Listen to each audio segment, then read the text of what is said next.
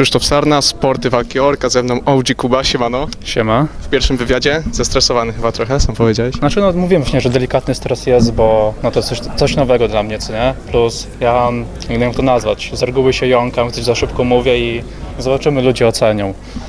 Yy, słuchaj, ty skończyłeś już szkołę? No, skończyłem techniką, teraz się na studia zapisałem.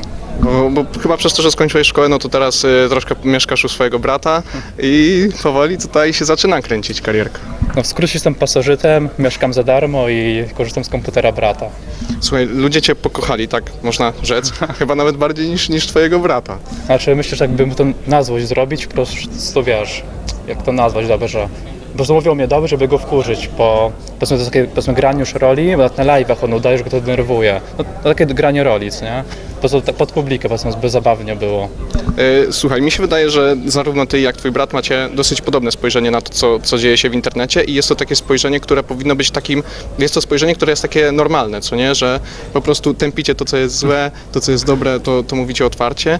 I, i jak ty w ogóle dzisiaj się odnajdujesz w tym internecie, bo wydaje mi się, że dzisiaj gdzieś kłamstwo, obłuda, yy, że tak przeproszeniem powiem kurestwo i wy jeszcze jesteście obrażani później za to, że, że mówicie tak na, jak jest naprawdę w tym internecie. Znaczy, pierwszy odnośnie do tego, co na początku mówiłeś, no to problem też jest taki, że mam podobne poglądy z bratem, nie?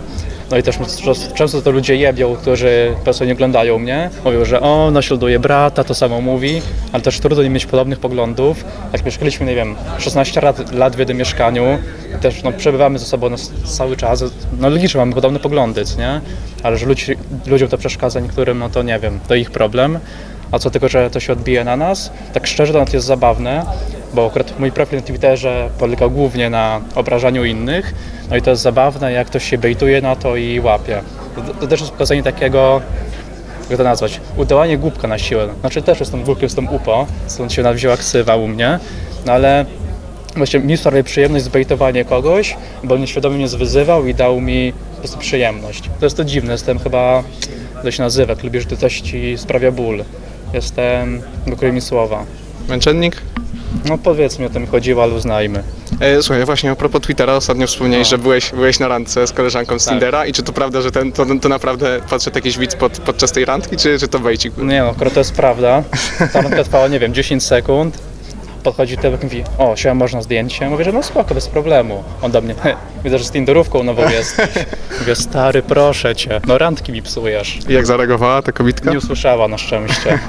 No to git. E, słuchaj, e, twój brat zawalczy na tej gali, zdradziłbyś nam e, z kim puścimy po, po konferencji? Znaczy, no i tak będzie wiadomo zaraz, więc będzie walczył z... Kurwa, zapomniałem ksywy. Z panem z budowy, który się nazywa... Zabielski. Dokładnie, dzięki. Jak oceniasz swoje szanse swojego brata? Bardzo dużo nie trenuje, no sam to pewnie powie. Nie trenuje on w ogóle na razie, bo też chory był dwa tygodnie. Dopiero ma wrócić do ringów jutro. No ale jak byłem na jego sparingu z Filipkiem, no to powiedzmy, że ma potencjał. Według mnie będzie trenował miesiąc, to ma szansę wygrać. Wiadomo, że tam za rodziną jest to normalne. No to będę kibicował i znowu sobie zdra całe gardło, jak było na walce z hejterem. E, Słuchaj, ty, ty grałeś kiedyś e, za dzieciaka w gry tak jak, tak jak twój brat, czy gdzieś nie, nie ciągnęło cię do tego? No bo twój brat e, momentami miał no, bardzo dobre okresy, nawet na tej scenie sportowej. No, grać grałem cały czas, tylko zawsze byłem tym gorszym bratem, ale teraz role się odwróciły, wolę mam wyższą rangę od niego. E, słuchaj, tak e, kończąc, no pewnie dzisiaj tutaj jeszcze jak pójdziesz na, na kilka wywiadów, to pewnie dostaniesz to samo pytanie. E, ty widziałbyś się w walce za jakiś czas, jeżeli jeszcze ten fame ci wyskoczy, bo na pewno ci jeszcze wskoczy więcej i więcej i więcej, bo, bo póki co to się gdzieś formuje. Jak, widziałbyś się, chciałbyś coś takiego spróbować, czy, czy, czy nie? Myślę, że tak, bo nawet ja trenowałem całe życie. Pierw to była wiadomo każdy piłka z 8 lat, później siłownia 4 lata z przerwami. Miałem krótki epizod z boksem, tylko zepsułem rękę sobie na worku i mam kontuzję od grudnia, teraz na rehabilitację chodzę. Ale właśnie myślę, że bym spróbował. No, powiem, że nie dla pieniędzy, bo pieniądze będą na pewno niskie u mnie, no bo nie jestem rozpoznawalny, a na pewno jest taka przyjemność, wiesz, ludzie dookoła się drą, no coś ma, ma no, no jest to co mówiłem, beatbox. Spokojnie. Coś naprawdę przyjemnego, no i chciałem tego doświadczyć, myślę. E, słuchaj, będziesz studiował we Wrocławiu?